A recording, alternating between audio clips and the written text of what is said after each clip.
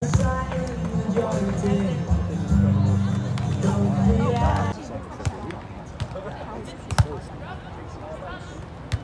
it, it was pretty great.